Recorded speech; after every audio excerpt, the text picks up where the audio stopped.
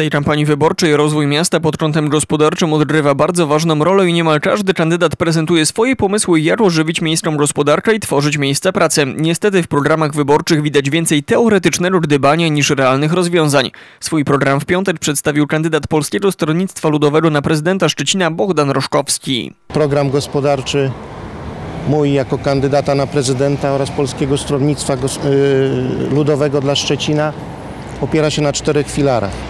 Jakie to są filary? Po pierwsze, równość wszystkich podmiotów gospodarczych, równe warunki dla podmiotów gospodarczych. Po drugie, wykorzystanie akademickiej funkcji Szczecina dla rozwoju gospodarki. Po trzecie, gospodarka morska i logistyka. I po czwarte, Szczeciński obszar metropolitarny.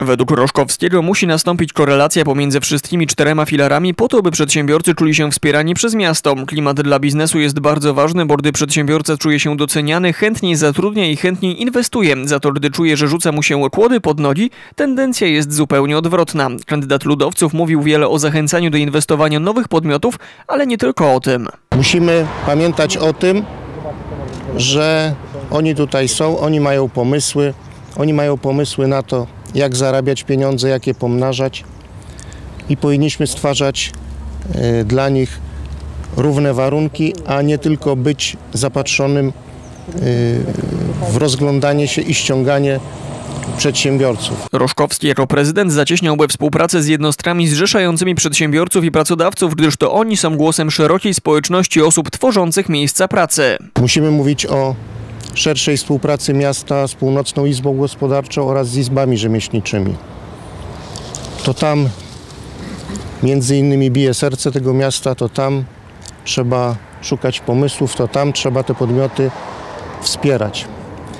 Kolejna rzecz to wykorzystanie akademickiej funkcji Szczecina.